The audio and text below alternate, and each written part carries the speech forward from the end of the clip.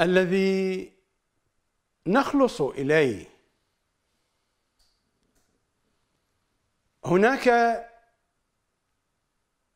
أكثر مراجع التقليد عند الشيعة هم أضر من قتلة الحسين. وهناك زوار الحسين الذين يزورون قبره ويتشافون بتربته وينتحلون ولاية أهل البيت يعتقدونها لكنهم كما يقول إمامنا الرضا ليسوا منا ليسوا من شيعتنا هم من شيعة أولئك المراجع. ولذا فإن المراجع أضر من قتلة الحسين. خدام الحسيني زوار الحسيني الذين هم أتباع المراجع هم قتلة الحسين. المراجع العن من قتلة الحسين.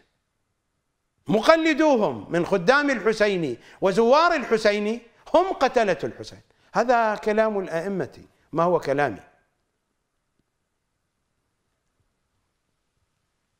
البلاعم وهم المراجع أيضا القرآن وصفهم بأنهم كلاب.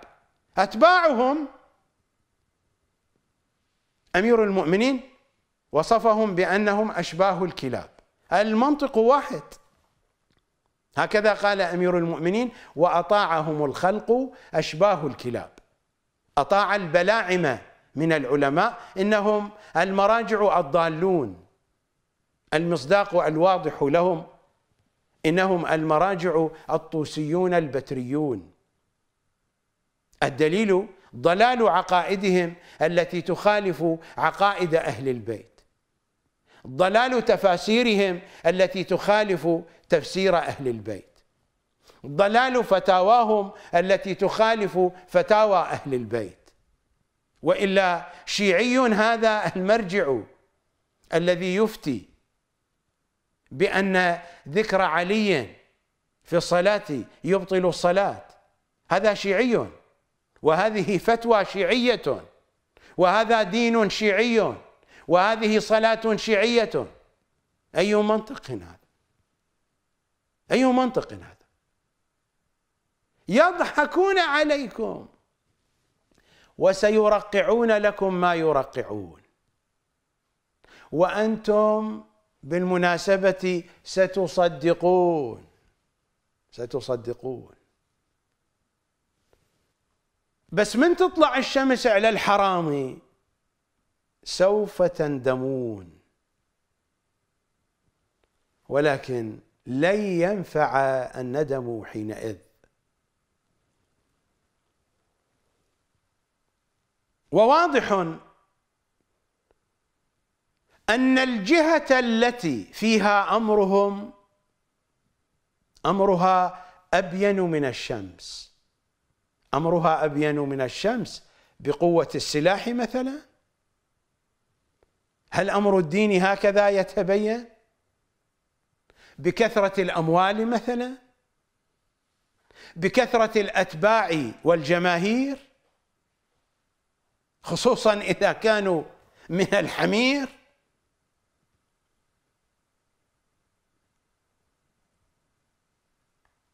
بأي شيء يكون أمرهم أبين من الشمس. إنه العلم والمعرفة والفصاحة والبلاغة والبيان والخطابة.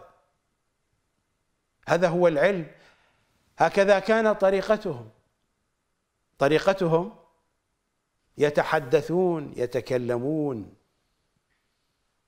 وحينما يتحدثون ويتكلمون لا يستطيع حتى أعداؤهم أن يعيبوا عليهم أن يعيبوا عليهم طريقة كلامهم أو أن يعيبوا عليهم مضمون كلامهم أو أن يعيبوا عليهم حججهم ودلائلهم. هكذا كان أمرهم أبين من الشمس. وسيكون أمرهم أبين من الشمس. في زمان الغيبة أيضا بنفس هذا المنهج لا بطريقة المرجع الأخرس. ولا بطريقة المرجع المتمضرط. الذي لا يصدر منه إلا الهراء والخراء من فمه. هذا هو حال مراجعنا العظام. هذا هو حاله. فماذا نصنع له؟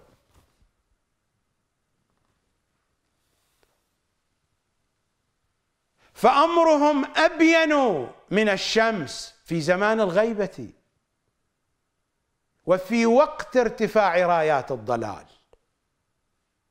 هناك جهة يكون فيها أمر محمد وآل محمد أبين من الشمس.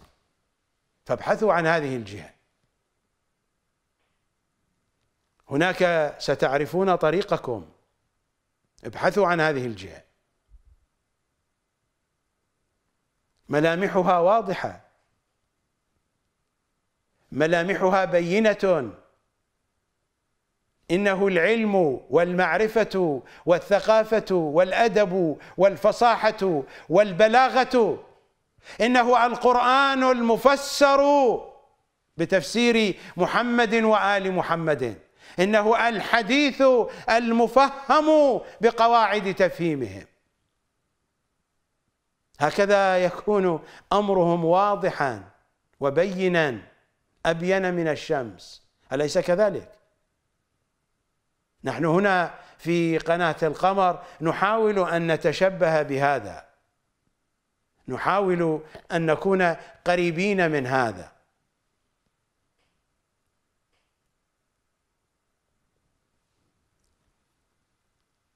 والأمر هو هو حين ظهور صاحب الأمر فإن أمره سيكون أبين من الشمس. لماذا؟ لأن المنهج هو المنهج إنه منهج العلم والمعرفة والأدب والفصاحة والبلاغة والوضوح وقوة الحجة.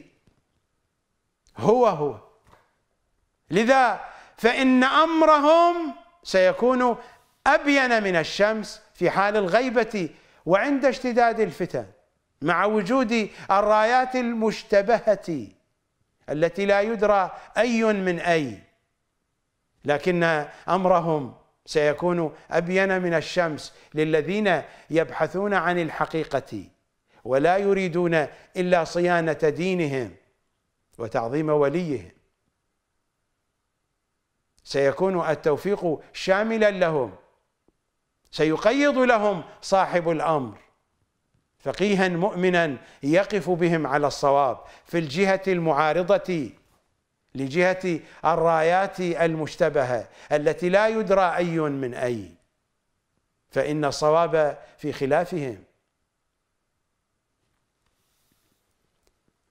أقرأ عليكم الرواية من غيبة الطوسي محمد بن الحسن الطوسي الذي يقال عنه من أنه شيخ الطائفة. طبعة مؤسسة الأعلمي بيروت لبنان.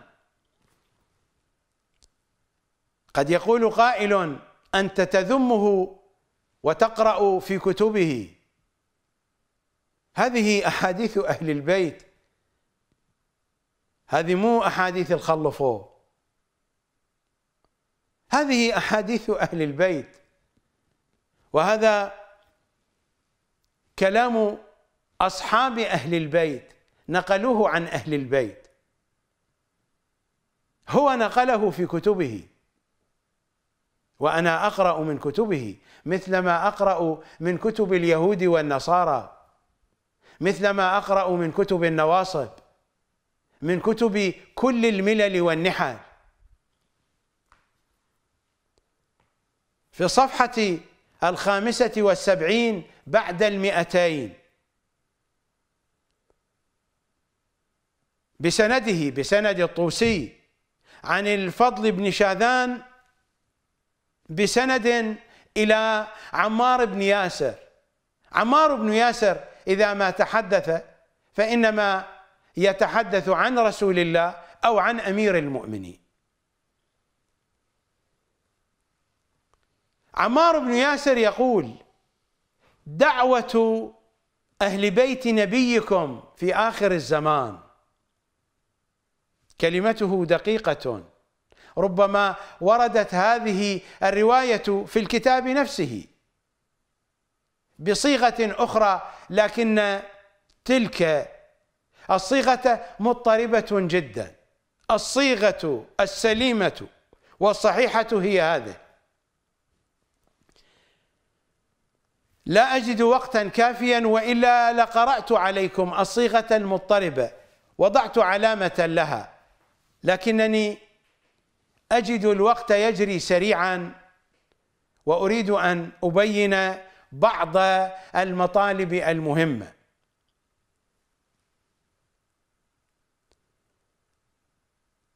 دعوة أهل بيت نبيكم في آخر الزمان. ونحن في آخر الزمان. فالزموا الأرض. وكفوا حتى تروا قادتها.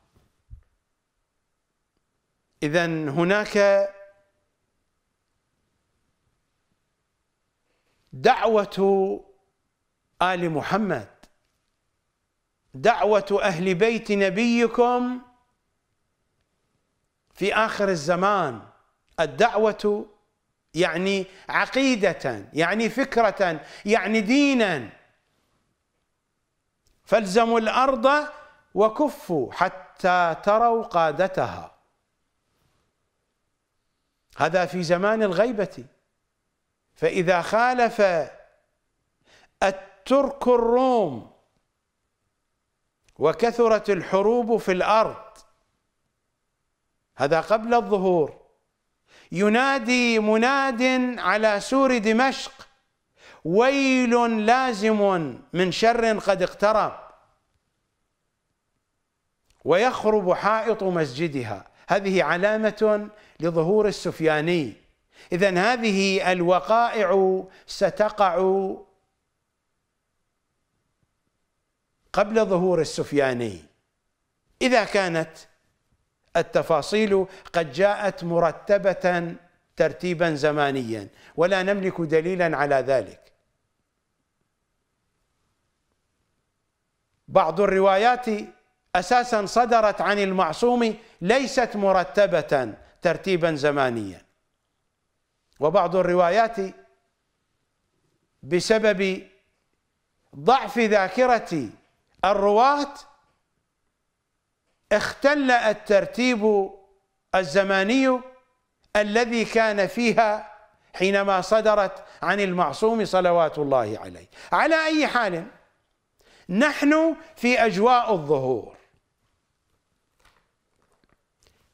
دعوة أهل بيت نبيكم في آخر الزمان ونحن في آخر الزمان. فالزموا الأرض وكفوا حتى تروا قادتها. هناك دعوة وهناك قادة لهذه الدعوة. فإذا خالف الترك الروم وكثرت الحروب في الأرض ينادي مناد على سور دمشق ويل لازم من شر قد اقترب. ويخرب حائط مسجدها حائط مسجد دمشق. وخراب حائط مسجد دمشق علامة لظهور السفياني. لا أريد أن أقف عند تفاصيل الرواية كلها. بالإجمال الرواية تتحدث عن زمان الغيبة ولكن عن مقطع زماني قريب من وقت ظهور إمام زماننا. كم قربه؟ نحن لا نعلم ذلك. لكن الذي يبدو أن العدد بالسنوات وليس بالأشهر لأن الحساب بالأشهر إنما يكون بعد ظهور السفياني. وهذه التفاصيل سابقة لظهور السفياني بمدة زمانية. فالحساب سيكون بالسنوات. كم هي العلم عند صاحب الأمر؟ صلوات الله وسلامه عليه. إذا الزمان قريب من يوم الظهور ولكن الحساب بالسنوات وليس بالأشهر. مثل ما قلت لكم فإن الحساب بالأشهر يكون بعد ظهور السفياني. هذه الوقائع تكون قبل العلامات الحتمية. ذكرت في روايات أخرى وسيأتي ذكرها أيضا. في هذا التقرير المهدوي.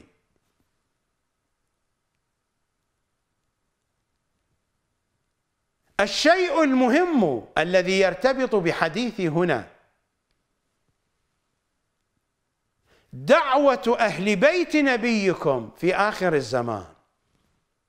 فالزموا الأرض وكفوا حتى تروا قادتها. قطعا قطعا.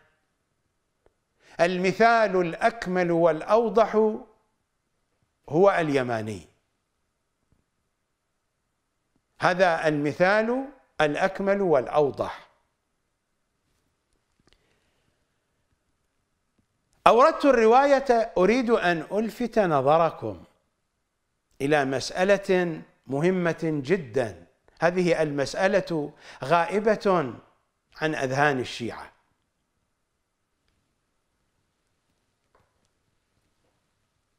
قادة الدعوة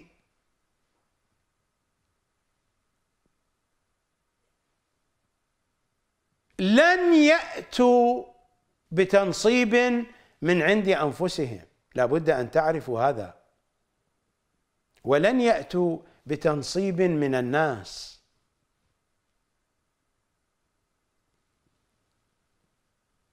قد يصف الشيعي نفسه بأنه داعية لأهل البيت.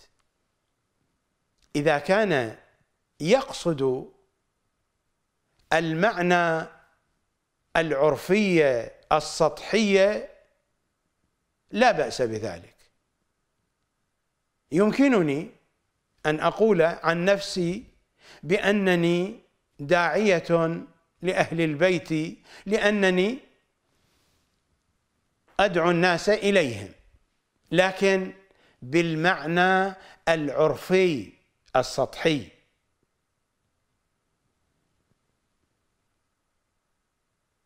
وهذا لا تتحدث عنه الروايات. الروايات حينما تتحدث عن الدعوة وعن قادتها فقادة الدعوة هم دعاة. لن يكونوا قادة للدعوة ما لم يكونوا من الدعاة. نحن لا نتحدث عن حملة عسكرية هنا. نتحدث عن دعوة. دعوة أهل بيت نبيكم في آخر الزمان. فالزموا الأرض وكفوا حتى تروا قادتها. قادة الدعوة لا بد أن يكونوا دعاة.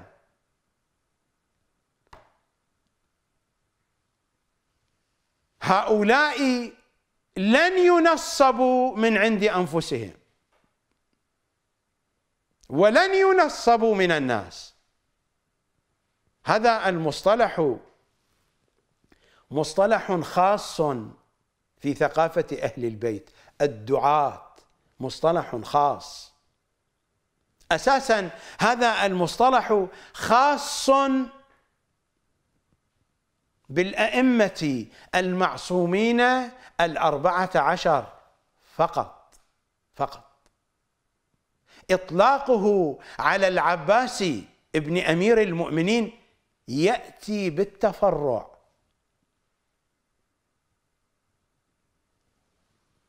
إطلاقه على كل الأنبياء بملاحظة أنهم شيعة لمحمد وآل محمد يأتي بالتفرع. هذا العنوان خاص بمحمد وآل محمد. هذه قضية مهمة جدا. فقه حوزة النجف لا يعرفها. كموضوع البيعة الذي حدثتكم عنه من أن البيعة لا تجوز إلا للمعصوم والشيعة تبايع المراجع والمراجع ملعونون والشيعة الذين يبايعونهم ملعونون. بحسب فقه العترة. فقه الحوزة الطوسية لا يعرف هذا. إنه فقه ضلال.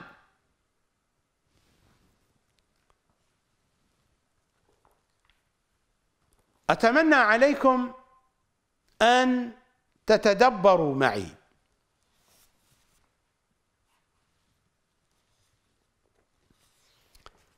ماذا نقرأ في زيارة آل ياسين. وزيارة آل ياسين نص أرسله إلينا إمام زماننا كي نزوره كي نخاطبه.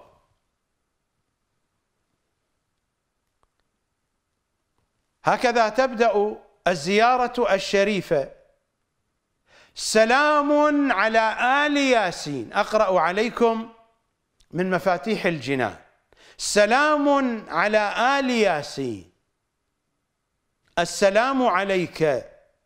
يا داعي الله ورباني آياته. هذا هو الداعي صاحب الأمر. هذا الإطلاق إطلاق حقيقي. لا يحق لي ولا لغيري. أن يطلق هذا الوصف بعنوان الحقيقة على نفسه. هؤلاء حزب الدعوة مسخر هؤلاء. حينما يطلقون على حزبهم الدعوة ويطلقون على أنفسهم بأنهم الدعاة هؤلاء مسخرة. هذا جزء من بترية محمد باقر الصدر هو الذي أسمى حزب الدعوة بحزب الدعوة وأطلق على أعضائه الدعاة. جزء من بترية فكر محمد باقر الصدر. هو لا يفقه هذه الحقائق.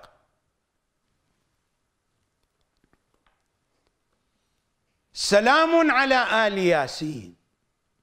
السلام عليك يا داعي الله.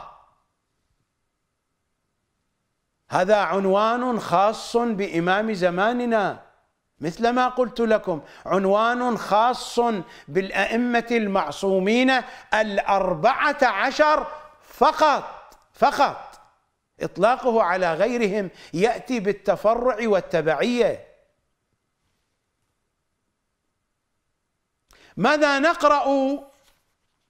في دعاء العهد. اللهم إن حال بيني وبينه بيني وبين إمام زماني أن أموت في عصر الغيبة من دون أن أدرك عصر ظهوره. اللهم إن حال بيني وبينه الموت الذي جعلته على عبادك حتما مقضيا فأخرجني من قبري مؤتزرا كفني. شاهرا سيفي. إنها الرجعة العجيبة. وما هي بالرجعة العظيمة؟ الرجعة العظيمة هي التي ينكرها مراجع النجف وكربلاء. يقرون بالرجعة العجيبة. لكن الأئمة حين يقولون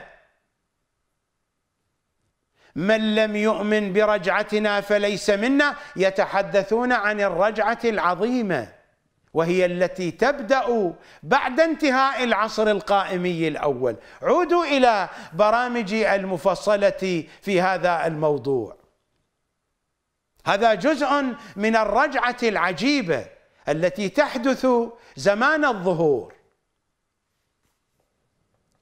اللهم إن حال بيني وبينه الموت الذي جعلته على عبادك حتما مقضيا فأخرجني من قبري مؤتزرا كفني شاهرا سيفي مجردا قناتي ملبيا ماذا؟ ملبيا دعوة الداعي في الحاضر والبادي.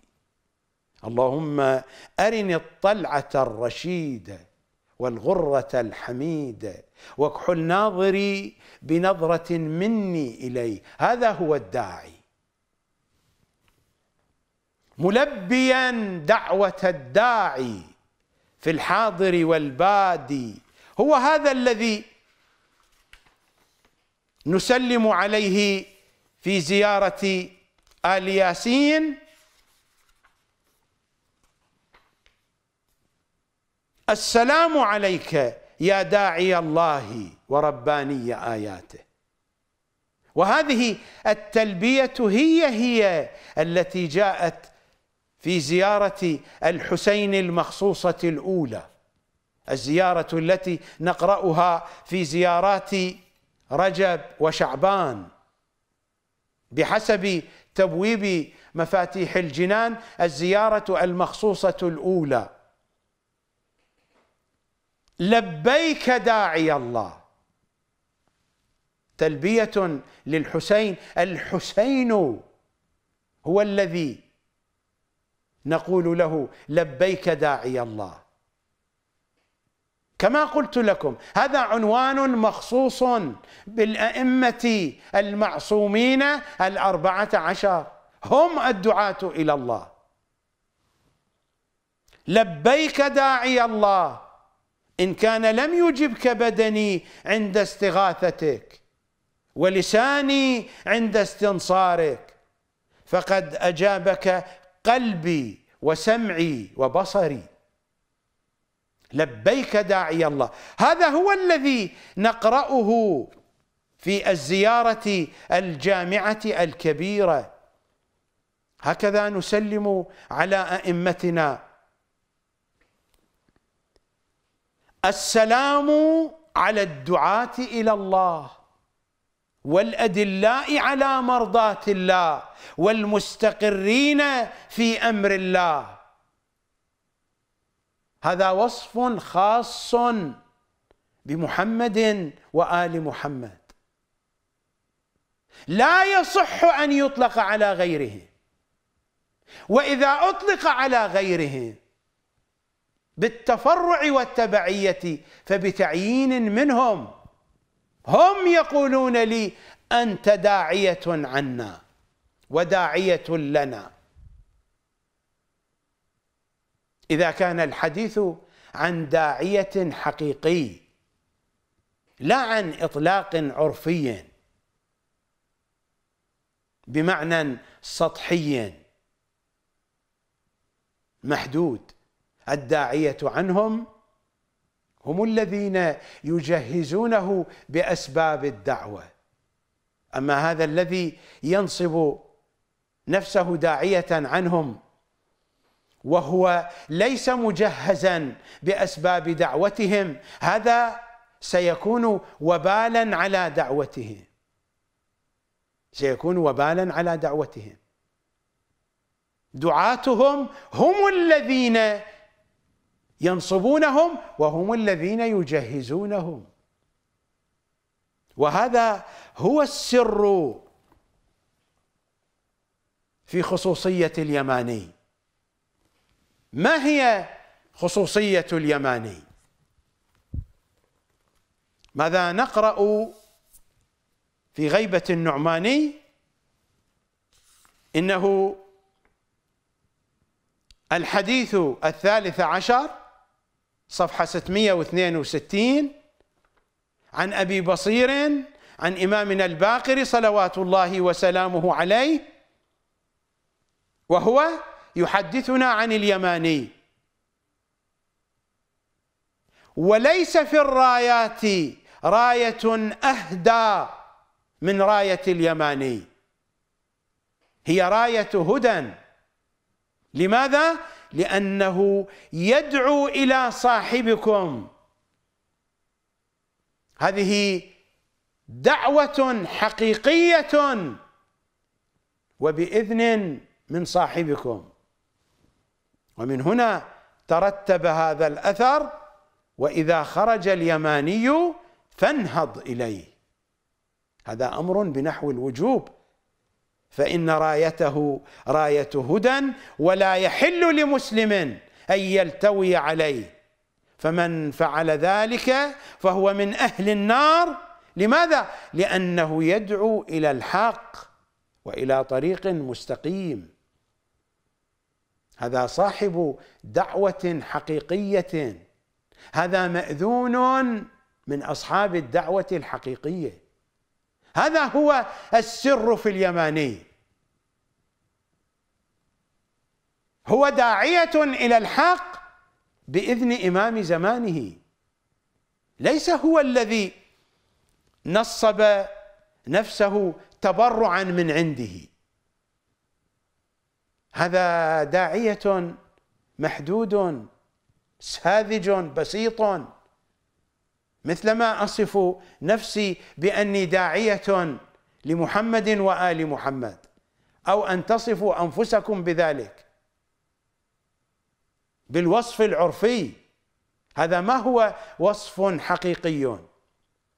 الداعية الحقيقي ينصب من قبل إمام زماننا ويجهز بوسائل الدعوة من قبله. مصداق واضح هو هذا اليماني.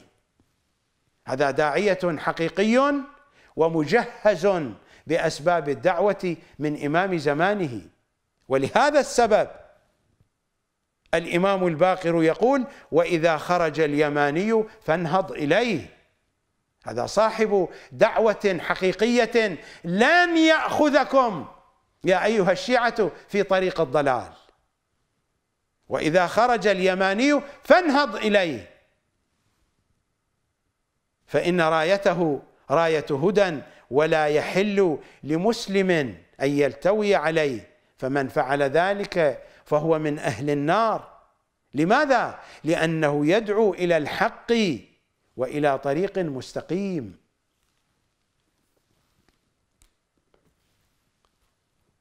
السلام على الدعاة إلى الله. هذا هو الوصف الحقيقي فيهم صلوات الله عليهم. أنا أقرأ عليكم من الزيارة الجامعة الكبيرة. إنه القول البليغ الكامل. السلام على الدعاة إلى الله وفي عبارة أخرى. السلام على الأئمة الدعاة. الدعاة لا بد أن يكونوا أئمة. السلام على الأئمة الدعاة والقادة الهداة. دعوة أهل بيت نبيكم في آخر الزمان فالزموا الأرض وكفوا حتى تروا قادتها. القادة لا بد أن يكونوا دعاة لأننا لا نتحدث عن حملة عسكرية. نتحدث عن دعوة أهل بيت نبينا. تلاحظون التلازم والتوافق بين هذه الأوصاف ونحن نخاطبهم.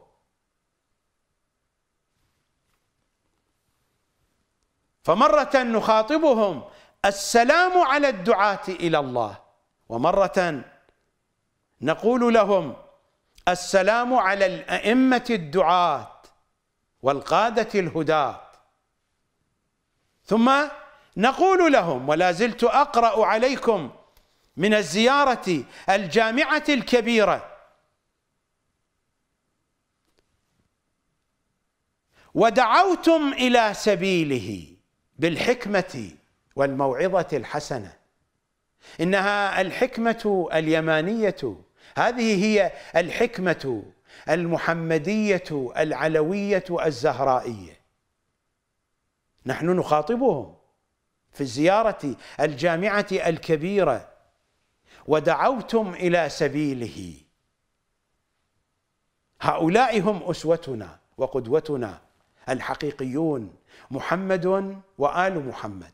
إنهم الأئمة المعصومون الأربعة عشر فقط. وفقط. وفقط. ودعوتم إلى سبيله بالحكمة والموعظة الحسنة. هذه الحكمة اليمانية المحمدية العلوية الزهرائية. حينما أبدأ برنامجي يا زهراء إنني أتوجه إليها. أن تنظر إلي بحكمتها هذه. أن تنظر إلي برحمتها الواسعة.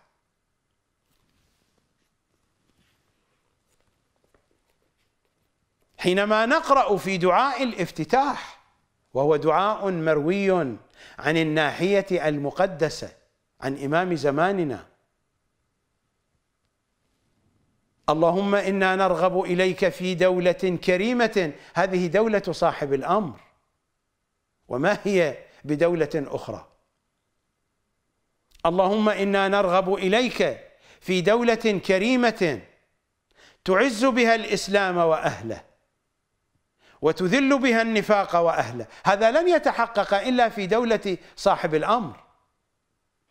أن يعز الإسلام الحقيقي وأن يعز أهله الحقيقيون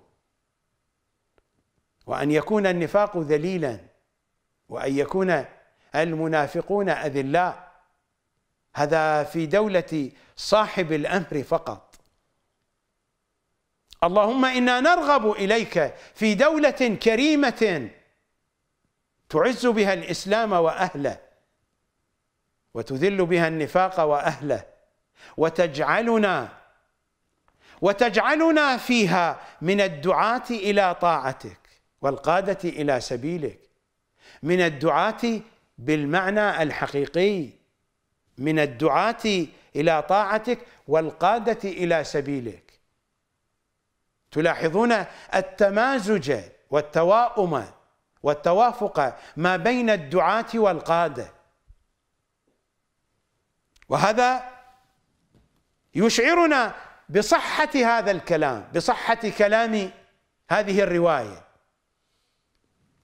عن عمار بن ياسر دعوة أهل بيت نبيكم في آخر الزمان فالزموا الأرض وكفوا حتى تروا قادتها. هذا الكلام يكون في زمان الغيبة. وكما يبدو قبل ظهور السفياني.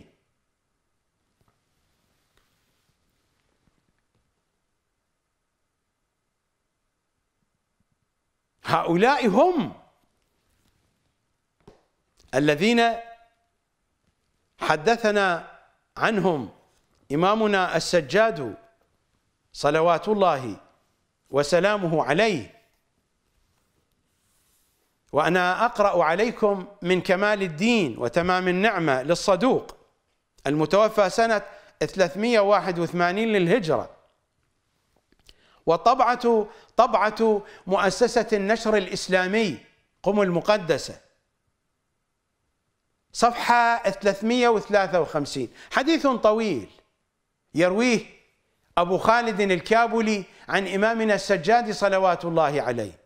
إلى أن يقول إمامنا السجاد يا أبا خالد إن أهل زمان غيبته. وصل الحديث إلى صاحب الأمر. يا أبا خالد إن أهل زمان غيبته. القائلين بإمامته والمنتظرين لظهوره أفضل من أهل كل زمان. لأن الله تبارك وتعالى أعطاهم من العقول والأفهام والمعرفة ما صارت به الغيبة عندهم بمنزلة المشاهدة وجعلهم في ذلك الزمان بمنزلة المجاهدين بين يدي رسول الله بالسيف. أولئك المخلصون حقا وشيعتنا صدقا والدعاة إلى دين الله عز وجل سرا وجهرا. هؤلاء هم. هؤلاء هم. وهم المخلصون. أولئك المخلصون حقا. الذين تتفجر ينابيع الحكمة من قلوبهم على ألسنتهم. تلك هي المواد التي يجهزهم بها صاحب الأمر. هكذا نقرأ في نهج البلاغة الشريف.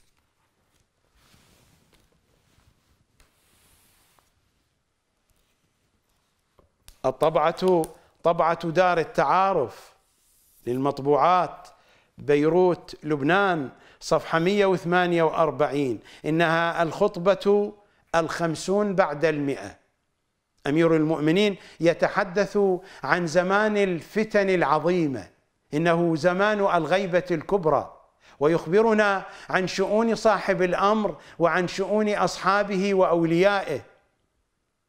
فيقول في سترة عن الناس. السترة هي الغيبة صاحب الأمر في سترة عن الناس.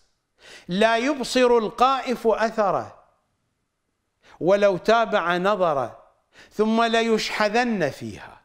في زمان الغيبة في زمان هذه السترة. ثم ليشحذن فيها قوم. شحذ القين النصل مثلما يشحذ الحداد السيوف. القين هو الحداد والنصل السيوف الرماح. ثم ليشحذن فيها قوم. شحذ القين النصل. كيف؟ تجلى بالتنزيل أبصارهم. من الذي يفعل ذلك بهم؟ إنه إمام زمانهم. هذه هي المواد والأسباب التي يجهز بها صاحب الأمر دعاته وقادته زمان الغيبة وزمان الظهور. أمير المؤمنين يحدثنا هنا عن زمان الغيبة. صاحب الأمر في سترة عن الناس. لا يبصر القائف أثره ولو تابع نظره ثم ليشحذن فيها في هذه السترة في هذه الغيبة ثم ليشحذن فيها قوم شحذ القين النصل. تجلى بالتنزيل أبصارهم ويرمى بالتفسير في مسامعهم. ويغبقون كأس الحكمة بعد الصبوح. قرأت عليكم قبل قليل في الزيارة الجامعة الكبيرة عن الأئمة الدعاة ودعوتم إلى سبيله بأي شيء؟ بالحكمة والموعظة الحسنة. مرة تكون بشكل مباشر منهم. وتارة تكون بطريق غير مباشر عبر دعاتهم وقادة دعوتهم. ودعوتم إلى سبيله بالحكمة والموعظة الحسنة. هكذا قرأنا في الزيارة الجامعة الكبيرة ونحن نسلم على الدعاة إلى الله السلام على الدعاة إلى الله. ونسلم أيضا السلام على الأئمة الدعاة. والقادة الهداة. ثم نقول لهم ودعوتم إلى سبيله بالحكمة والموعظة الحسنة. هذه الحكمة يتجلى منها ما يتجلى عبر الأئمة في قلوب وعقول شيعتهم.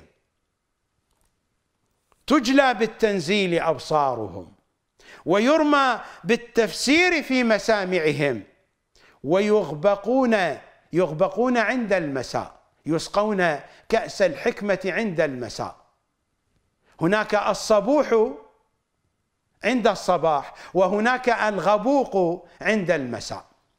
ويغبقون كأس الحكمة بعد الصبوح. هذه هي هي.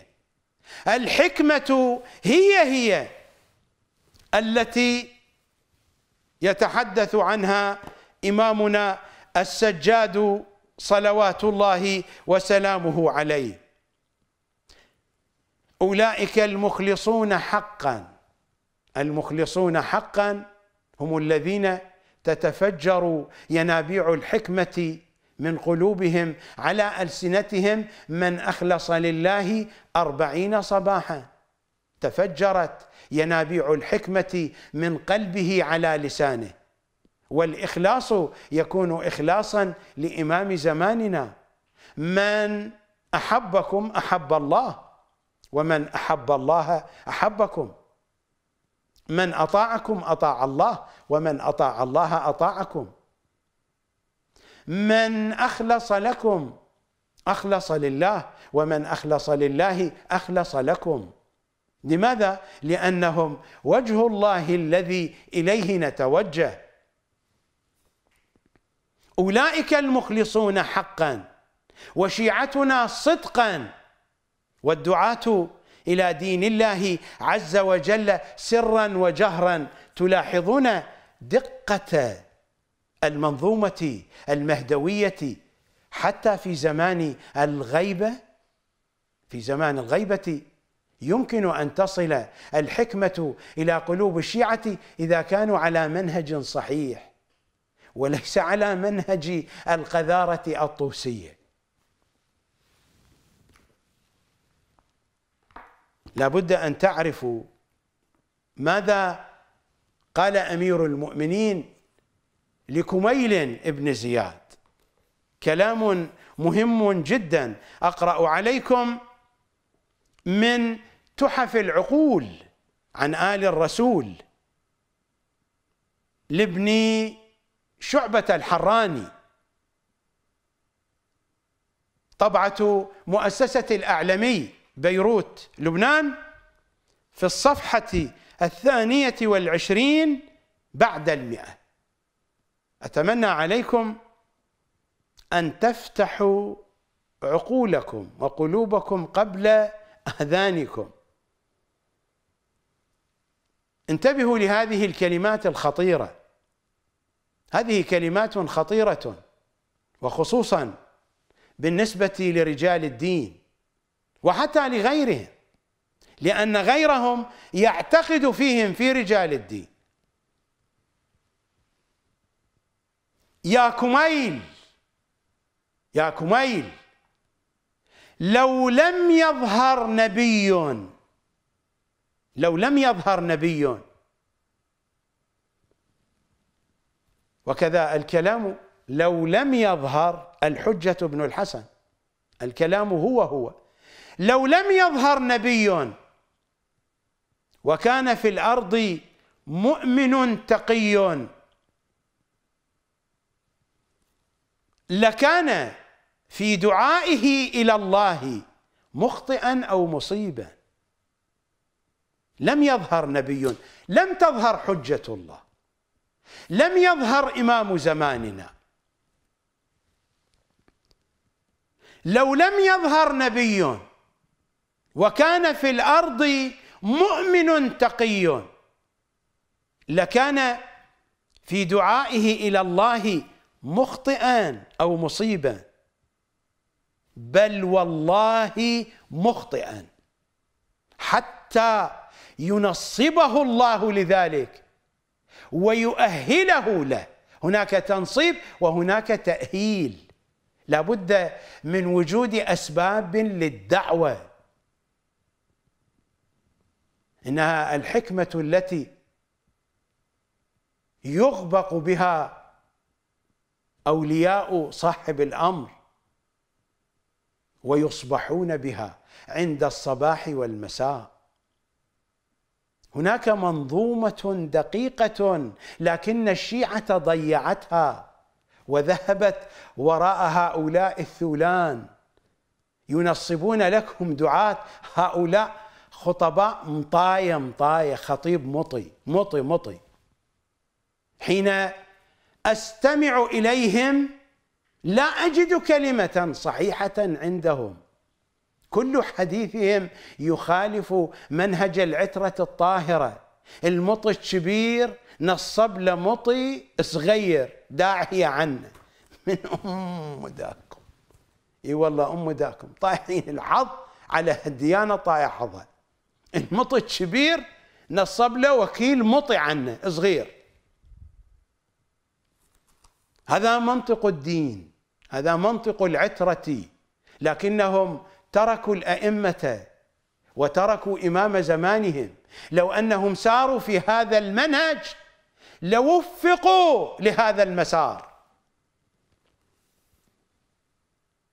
يا كميل لو لم يظهر نبي وكان في الأرض مؤمن تقي لكان في دعائه إلى الله مخطئا أو مصيبا. بل والله مخطئا كان مخطئا. حتى ينصبه الله لذلك ويؤهله له تنصيب وتأهيل. وهذا الأمر يجري في زمان الغيبة أيضا ما أنا قرأت عليكم الروايات والأحاديث. يا كميل يا كميل الدين لله. فلا يقبل الله من أحد القيام به إلا رسولا أو نبيا أو وصيا. وهؤلاء يعينون اناسا تحت رعايتهم تارة باللطف الجلي وأخرى باللطف الخفي وهذا موضوع فيه تفصيل. يمكنكم أن تعودوا إلى برنامج الأمان الأمان يا صاحب الزمان. فإنني تحدثت هناك عن المنظومة المهدوية الغيبية السرية في واقعنا الشيعي. يا كميل الدين لله. فلا يقبل الله من أحد القيام به إلا رسولا أو نبيا أو وصيا.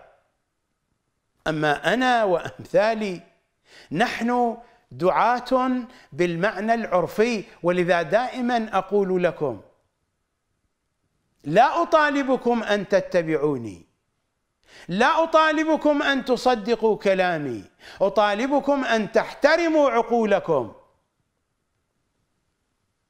وأن تعودوا إلى كلامي بأنفسكم وأن تبحثوا عن الأدلة بأنفسكم.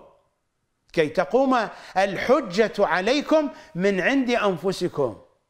لأنني لست حجة عليكم. لست داعية منصبا من قبل صاحب الزمان. الداعية المنصب من قبل صاحب الزمان يكون حجة علي وعليكم. فافهموا دينكم واعرفوا أنتم في أي طريق سائرون. هذه البغال والمطايا هذه اللي أنتم ماشيين وراها أين سيكونون وفقا لهذه الموازين؟ وأنتم أين ستكونون؟ يا كميل هي نبوة ورسالة وإمامة. وليس بعد ذلك إلا موالين متبعين أو عامهين مبتدعين. عامهين من العمى من العمى والضلال والتيه. يا كميل هي نبوة ورسالة وإمامة. وليس بعد ذلك إلا موالين متبعين. ليس هناك من مرجعية تكون صماما للأمان. هذا حكي خرطي. يا كميل هي نبوة ورسالة وإمامة. وليس بعد ذلك إلا موالين متبعين أو عامهين مبتدعين. وهذا هو الذي حدثتكم عنه في برامجي. من أن المنهج اليماني لا يرفض التقليد لكنه يرى التقليد لسفلة الشيعة. وإنما المنهج اليماني هو التعليم. أنا متخصص أعلمك وأنت تتعلم مني. وأنا وإياك من الموالين المتبعين المقلدين لإمام زماننا. هذا هو المنهج اليماني. أما التقليد جائز ولكنه لسفلة الشيعة. لأصحاب العقول الضعيفة الذين لا يستطيعون تمييز الأمور. أما أنتم الأكاديميون وأصحاب الشهادات وأنتم المثقفون والإعلاميون تريدون أن تعدوا أنفسكم من السفلة والمعتوهين فاذهبوا باتجاه التقليد. إذا كنتم تريدون المنهج اليماني إنه منهج التعليم. معلم ومتعلم. وهذا هو حديث أمير المؤمنين. يا كميل هي نبوة ورسالة وإمامة وليس بعد ذلك إلا موالين متبعين. أو عامهين مبتدعين. إنما يتقبل الله من المتقين من هؤلاء الذين يتقبل الله منهم؟ القرآن يخبرنا. نذهب إلى آخر آية من سورة آل عمران. إنها الآية المئتان بعد البسملة.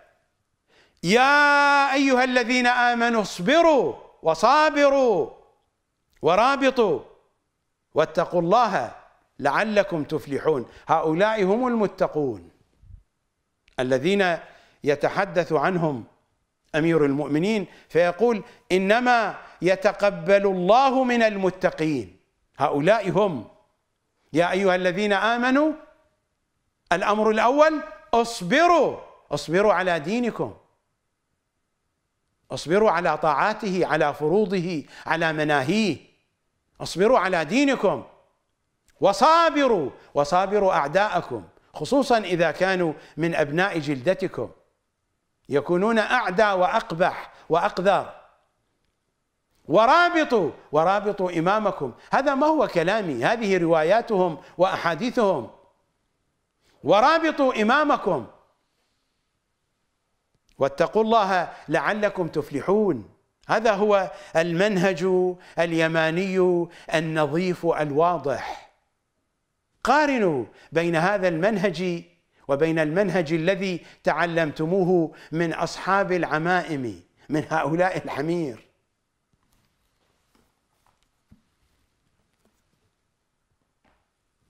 أقرأ عليكم مرة أخرى ما قاله أمير المؤمنين لكميل.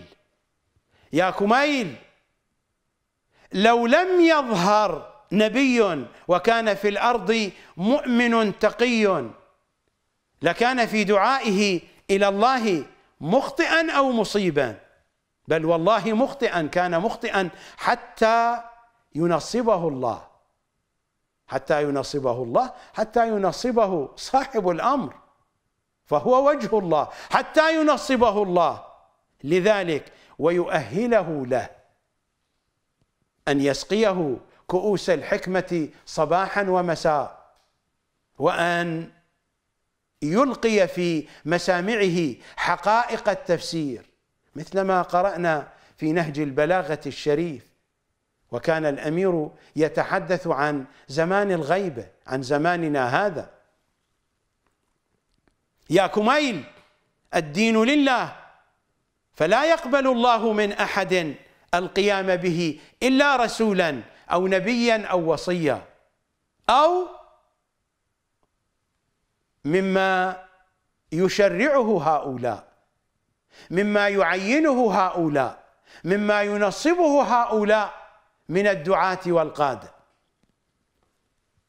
يا كميل هي نبوة ورسالة وإمامة. ليس هناك من مرجعية خصوصا إذا كان تخرطي يا كميل هي نبوة ورسالة وإمامة. وليس بعد ذلك إلا موالين متبعين أو عامهين مبتدعين. إنما يتقبل الله من المتقين. هذه الوصية هي هي التي قال فيها لكميل يا كميل ما من حركة إلا وأنت محتاج فيها إلى معرفة. وهذه هي المعرفة. وقال له يا كميل لا تأخذ إلا عنا تكن منا. لذا ماذا قال إمامنا الرضا عن قتلة الحسين في آخر الزمان عن زوار الحسين.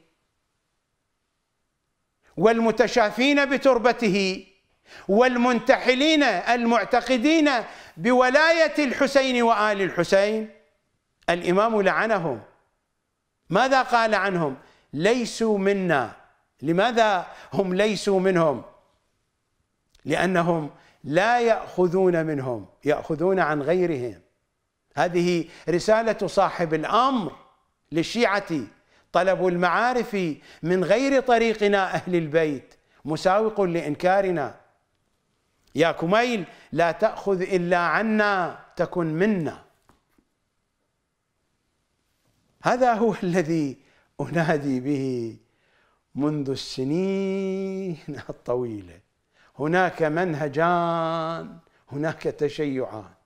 هناك تشيع المراجع لا يأخذ عن أهل البيت وهناك التشيع المهدوي هو هذا الذي منهجه لا يأخذ إلا عن أهل البيت. يا كميل لا تأخذ إلا عنا تكن منا. هكذا قال عمار بن ياسر دعوة أهل بيت نبيكم في آخر الزمان فالزموا الأرض وكفوا حتى تروا قادتها. إذا ما استطعنا أن نشخص قادة بحسب هذه البيانات لدعوة محمد وآل محمد فهذه علامة واضحة جدا على قرب الظهور الشريف وعلى قرب حدوث العلامات الحتمية. وقت الحلقة صار طويلا وللحديث صلة. نلتقي غدا إن شاء الله تعالى. أسألكم الدعاء جميعا في أمان الله.